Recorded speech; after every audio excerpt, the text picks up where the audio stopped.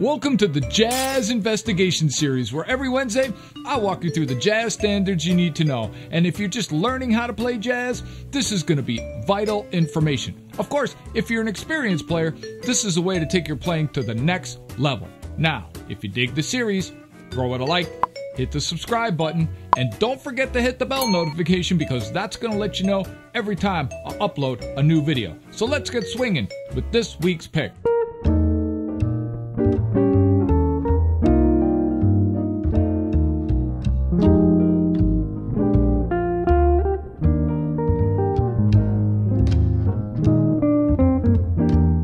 Course, this wouldn't be a series up on my list if I didn't have Stella by Starlight. Man, what a killer, killer tune. Why did I pick this tune? Well, of course, it's the melody. It's a haunting melody and one that's really reminiscent of an old time, but also has a modern feel in a lot of ways.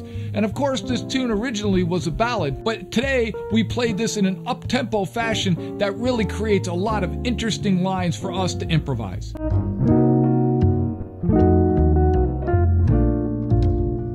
Number two, it's the unique harmony. Now, mostly this tune lies in the key of B flat, but it's got some twists, and that really makes it interesting for us to play over because it's the first time we're getting a look at some non standard ways of really approaching tunes.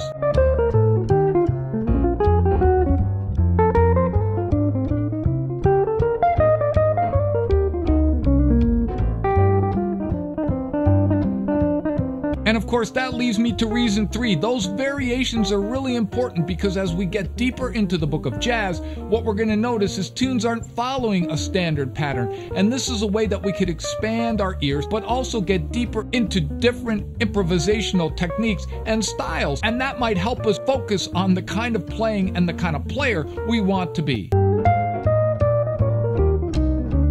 Of course, I can't go without saying it's got a non resolving dominant, and it's one that's unique, but also one we haven't seen so much yet, which is a flat 7 7. And again, it's not any different than a dominant 4 or a dominant 2 or even a dominant 3, but it means that we're getting some different ways to play a melodic minor and getting deep into using that scale in our playing. And of course, the popularity. I cannot tell you how many gigs I go to where Stella by Starlight is called. It's just one of those tunes that players really dig.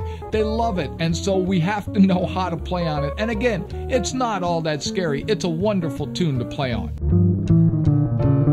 Now, if you dig this video, make sure to check out the master video on the site where I go over this tune in greater detail. And if you dig the series, throw it a like, hit the subscribe button, and don't forget to tune in next episode where I go over the jazz standards you need to know. I will see you again. Peace.